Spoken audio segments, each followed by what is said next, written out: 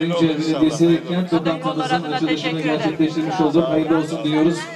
Değerli protokolümüze ve CHP İl Başkanı Bülent Sarı açılış programı sonrası basın mensuplarına yaptığı açıklamasında halkın iktidarı geliyor. 3 CHP'li belediyeler halka hizmet için çalışıyorlar dedi ve şunları söyledi. Halkın iktidarı geliyor ve bizim bizim 3 belediye başkanımız da bu projelerde, halkın projelerinde, sosyal projelerde en iyi şekilde devam ediyor. 3 belediye başkanımızın da biliyorsunuz 3 ayda yaptığı hizmetleri takip ediyorsunuz ve de e, örnek o büyük şehire de örnek oluyor. Bunları devam edecek 3 belediye başkanımız da halkın belediyesi olmaya devam edecek. CHP İl Başkanı Bülent Sarı, basın mensuplarının CHP İl Başkanlığı binası sorusuna ise netleşince açıklama yapacağız dedi.